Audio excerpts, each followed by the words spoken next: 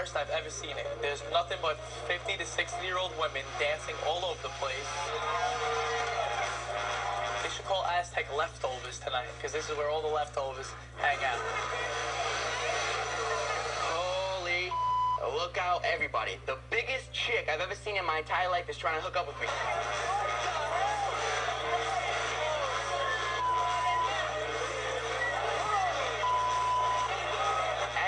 Full of warriors, but this warrior takes a cake. This is the mother of all warriors.